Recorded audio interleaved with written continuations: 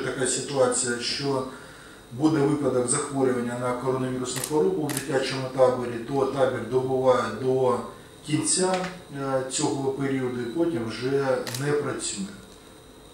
Тобто зміна, всі, всі, хто знаходились в зміні, вони будуть е, відпочивати і працювати до кінця зміни, потім табір закривається. Прошу на це те, що. дивіться, спливання.